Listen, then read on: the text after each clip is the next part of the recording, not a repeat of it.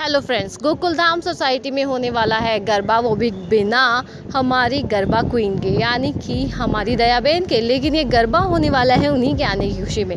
तो स्वागत है आप सभी का हमारे यूट्यूब चैनल पर।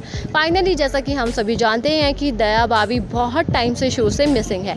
ऐसे में अब यहाँ पर जो हमारे जेठालाल हैं, उनकी दुकान का रिनोवेशन भी हो चुका है। तो अब बताया जा रहा है कि जेठालाल की अर्धांगनी दया भाभी वापस आ रही है।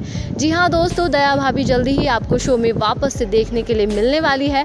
तो बिना इंतज़ार किए बस देखते रहिए शो तारक मेहता का उल्टा चश्मा।